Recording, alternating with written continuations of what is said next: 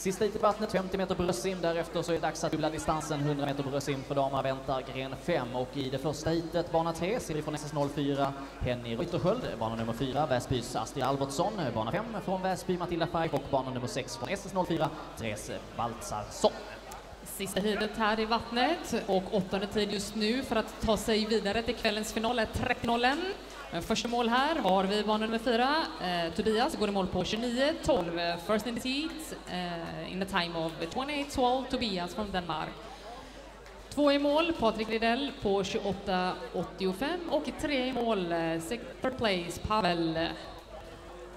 Och det innebär att följande åtta är med oss till finalen ikväll med en uppställning där Skagius var snabbast. Jajamän, han är snabbast till kvällens final på 27.77 följd av eh, Tobias Björn, Niklas Thor, Patrik Ridell, Pavel Szczepanki, Daniel Skåning, Daniel Räsenen och sist till final på en tid av 29.45 har vi från Västerås, Gis Jursken. Det är de som är med oss i finalen. Har ni strykningar ber er att lämna det så snart som möjligt här uppe i sekretariatet. If you have any scratches, please let us know in the latest 30 minutes after we have closed the event.